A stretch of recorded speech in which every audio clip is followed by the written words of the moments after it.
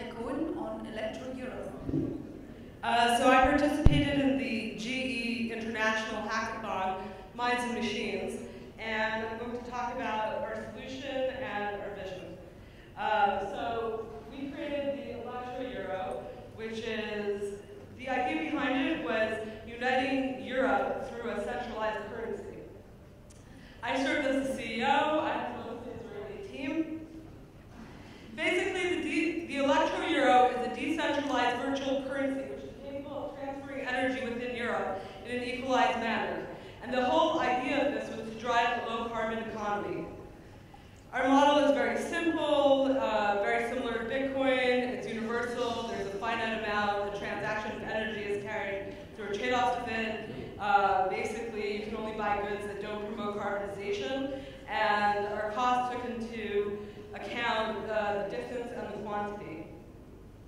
We generated a market which was per country and based on energy sources, and we used machine learning to predict production, consumption, and cost.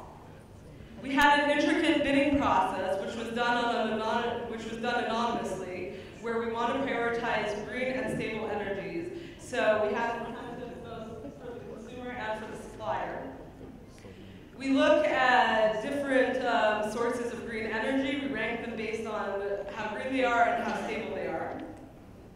We had a simple implementation. We collect data from a sensor network, put it into the predicts, aggregate analyze data. This gives rise to the markets, and then we have user interaction and pricing. And here is uh, a view of the demo that we had. Basically, we offer different benefits. We have hybridization, so we can combine energy from different sources. Uh, we have mobility. You can transport energy from the nearest neighbor European Union country rather than uh, relying on OPEC. Uh, the key is the concept of decentralization, creating a pure free market, and preventing a monopoly. We also are uh, bridging worlds, and we're allowing for big data optimality, where we have a large-scale sensor network which generates volumes of data for optimality, and we can also make this more efficient.